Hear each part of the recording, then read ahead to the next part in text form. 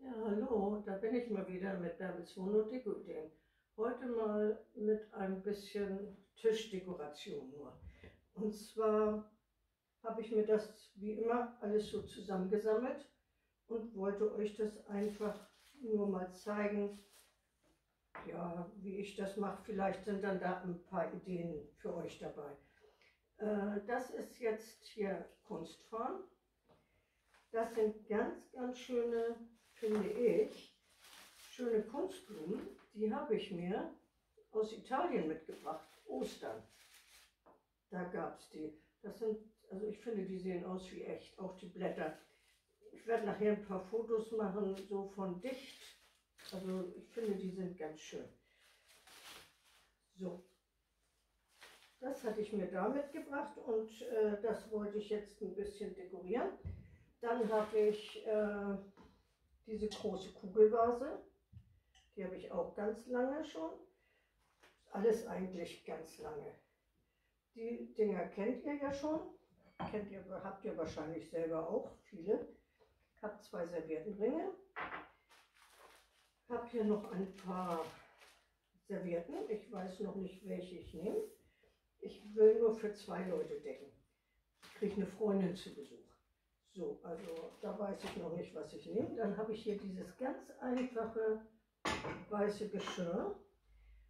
Um das ein bisschen aufzupeppen, habe ich von meinem Essgeschirr genommen. Das werde ich jetzt zusammen äh, dekorieren. Das sieht dann ein bisschen schöner aus.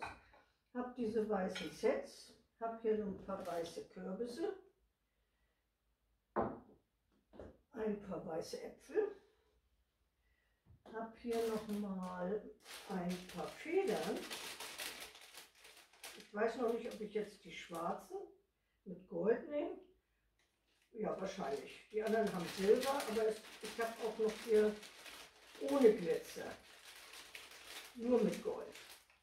Das habe ich mir alles mal so im Laufe der Jahre immer zusammengesammelt. Das ist alles uralt. Also äh, fragt mich nicht, wo hast du das her? Äh, außer diese Sachen weiß ich gar nicht mehr, wo ich das her habe. Und das ist auch, äh, ja, wie gesagt, aus Italien.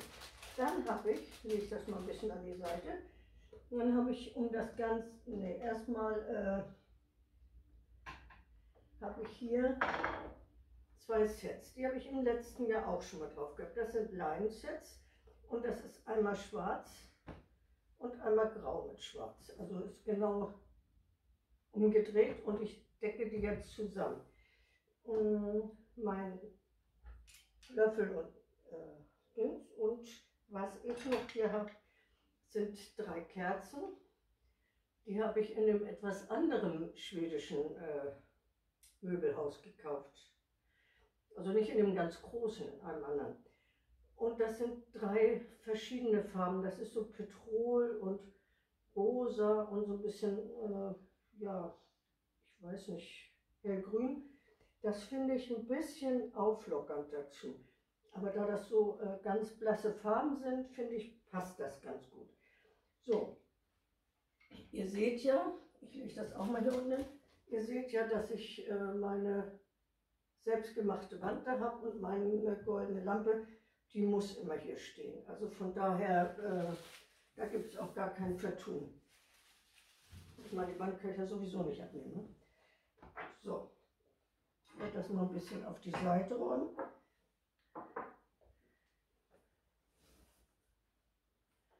So, ich habe einmal jetzt hier das Schwarze. Muss jetzt mal ein bisschen hin und her rum.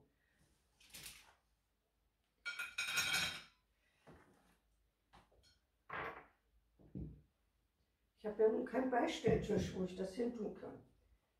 Das heißt, hätte ich auch, aber naja, man kann ja nicht alles hier jetzt so vorholen. Die packe ich auch, mache ein bisschen an die Seite, die Sachen. So.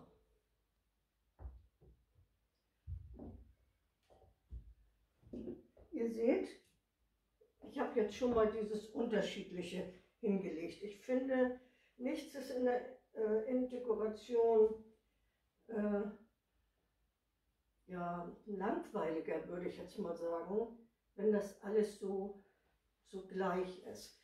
Also ich finde, es darf ruhig äh, ein bisschen asymmetrisch sein und es darf ruhig von den Farben ein bisschen äh, anders sein. Also es dürfen ja auch alte und, und äh, neue Sachen zusammengestellt werden, auch möbeltechnisch. Ich werde demnächst mal ein bisschen mehr so solche Dinge zeigen, damit ihr auch mal wisst, äh, ich komme aus der Dekoration und äh, ja, nicht nur immer basteln, sondern einfach auch mal nur dekorieren. Also ich habe jetzt hier, ich quatsche mal so viel, habe ich hier meine große Vase. Die kann ich jetzt erstmal mit meinen Kunstblumen bestücken. Das mache ich deshalb, weil äh, mir sind die frischen Blumen zu teuer.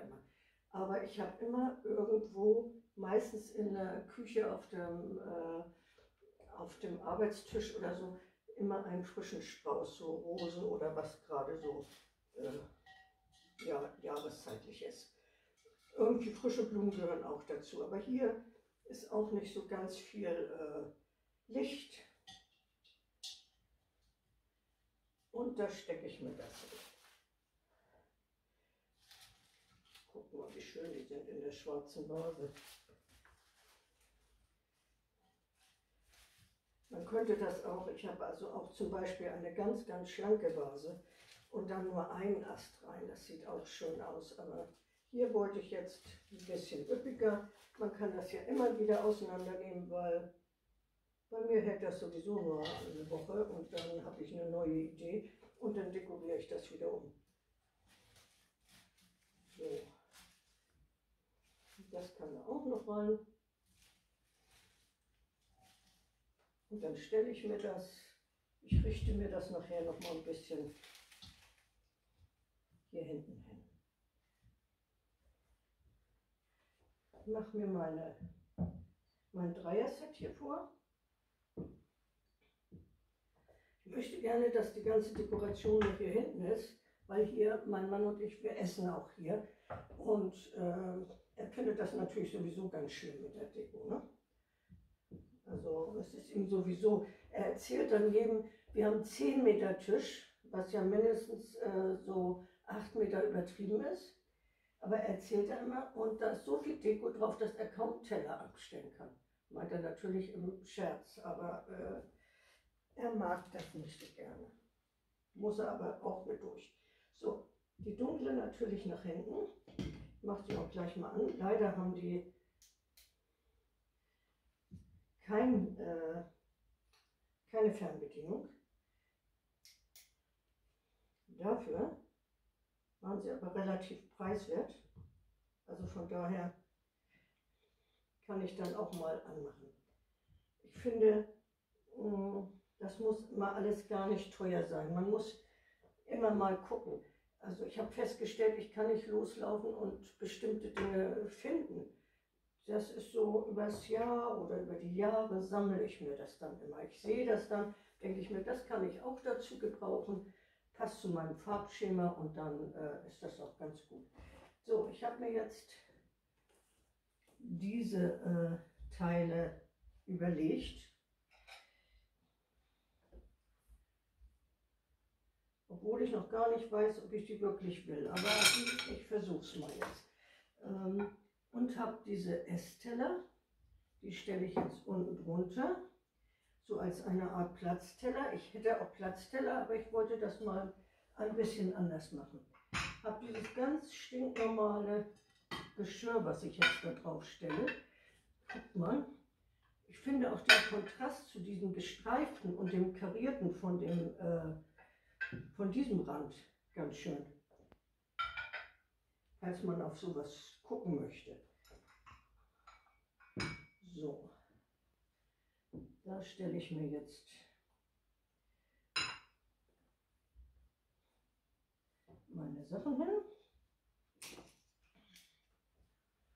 Das muss ich mal gucken, aber erstmal den Teelöffel. Ich hätte hier noch zwei äh, Serviettenringe, aber mal gucken. Jetzt überlege ich mir, ob ich die nehme. Ich muss mal einmal sehen. Ich will die auch gar nicht so groß äh, auseinanderpflücken, ob ich die nehme.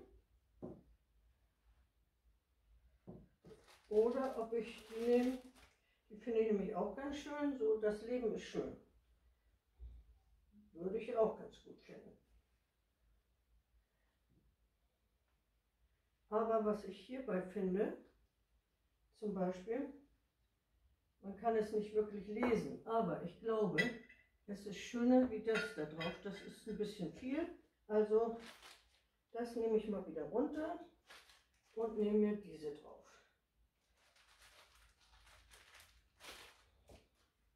So.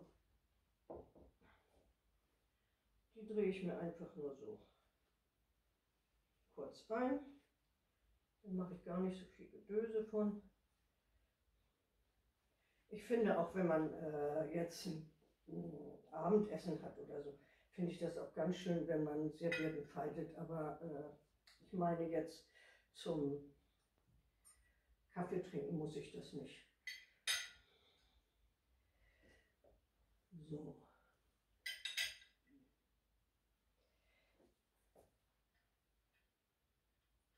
Ich stecke da jetzt nochmal die, die Feder so rein. Lege das ein bisschen schräg auf und habe jetzt hier noch meine Kürbisse. Soll ja ein bisschen Herbstdeko sein, ne? hätte, auch noch die Äpfel.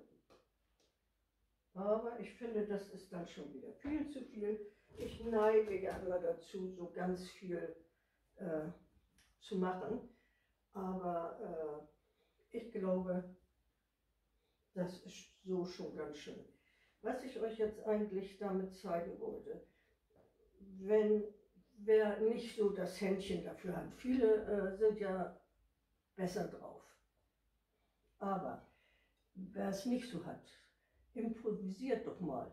Ganz alte Teller, was ich letztens schon mal hatte, da haben wir schon mal einen Braten abends gehabt äh, mit Besuch. Und da habe ich diese alten englischen Teller, die man immer so früher hatte, gab es in Blau bunt und, und in, äh, also in Blau gemustert und in Grün gemustert. Ich habe sie in Grün mal vom Flohmarkt geholt, weil meins habe ich natürlich irgendwann mal äh, ja, weggegeben, weil es war ja unmodern. Jetzt ärgere ich mich ein bisschen. Aber die grünen hatte ich mir auf dem Flohmarkt wieder geholt, aber nur die Essteller gab es da. Die habe ich dann auch so genommen und weiße aufdekoriert. Das sah richtig, richtig schön aus und herbstlich. Wenn man dann so ein bisschen in grün das alles hält, ist das auch wunder, wunderschön. Äh, wenn ihr möchtet, schreibt mal in den Kommentaren, ob ihr das gut fändet, wenn ich öfters mal so, so ein paar Ideen hier weitergebe, ob sie euch überhaupt helfen oder ob ihr sagt, also die spinnt wohl, das können wir selber besser oder so. Ich weiß es nicht, aber ich äh, wollte es einfach mal sagen. Diese äh, Dinger sind eigentlich als Geschirrtücher verkauft worden. Habe ich auch mal, irgendwo waren die im Ausverkauf oder so. Diese beiden als Set. Ich finde das aber gut als Tischset. So, man sieht noch ein bisschen vom Tisch. Wie gesagt, die Dinger das passt alles wunderbar. Ich werde jetzt noch auf meine roten Stühle schwarz-weiße Kissen dekorieren. Und äh, ja, dann denke ich mir, ist das schon mal eine ganz schöne Deko. Also wie gesagt, ich würde mich freuen, wenn ihr mir eine Rückmeldung geben würdet, äh, ob ihr das öfters mal sehen wollt, so irgendwas von der Enddekoration oder so. Es gibt ja ganz viel, was man so mal weitergeben kann, was man auch selber manchmal vergessen hat. So, oh, das könnte ich ja auch machen, das habe ich ja auch. Ich meine, ich habe ja auch nicht äh, irgendwie äh, wundersame Sachen, sondern äh, das sind alles ganz, ganz, ganz einfache und auch oft mal ganz preiswerte Sachen. Ja, wenn es euch gefällt, würde ich mich natürlich über einen Daumen hoch freuen. Und ansonsten äh, sehen wir uns einfach beim nächsten Mal. Bleibt alle schön gesund. Tschüss, eure Bärbel. Bilder hänge ich natürlich noch hinten dran. Tschüss.